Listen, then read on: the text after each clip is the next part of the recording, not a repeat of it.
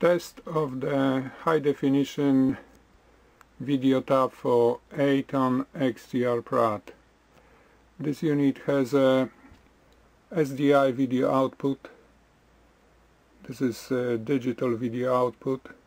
Has power on off switch and also connector for the external remote control and output of the analog video signal. I turn power on on the video assist LED indicator is on front of the lens we have color diagram and we see that on the monitor screen I will run camera with 24 frames per second.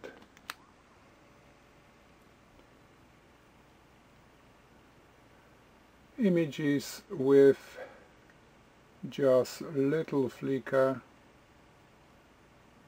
I stop the camera. Run again. 24